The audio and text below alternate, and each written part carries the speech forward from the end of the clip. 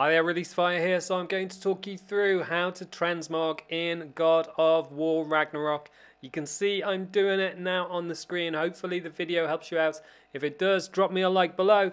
But the reality is that you won't get to transmog until you advance in the game. It's not like it's just instantly there. You've got to develop your kit in order to be able to transmog. And in fact what you're aiming for is full level 9 you can see for this one I'm only at level 8 so I can't change it. But then if I look at my wrist armor I've got the gauntlets of radiance up to level 9 and I can press square to edit the appearance and that's how you transmog.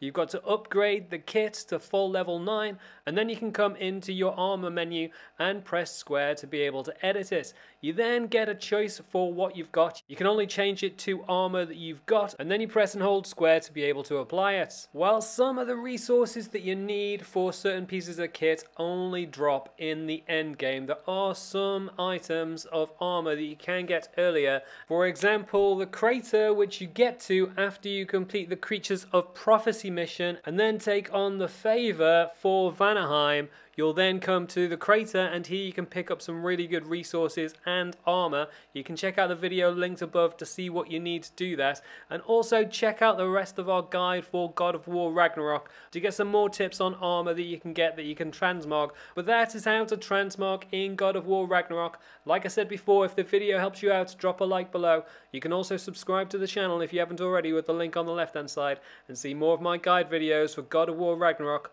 with the links on the right hand side. Leave any comments and I'll catch you next time.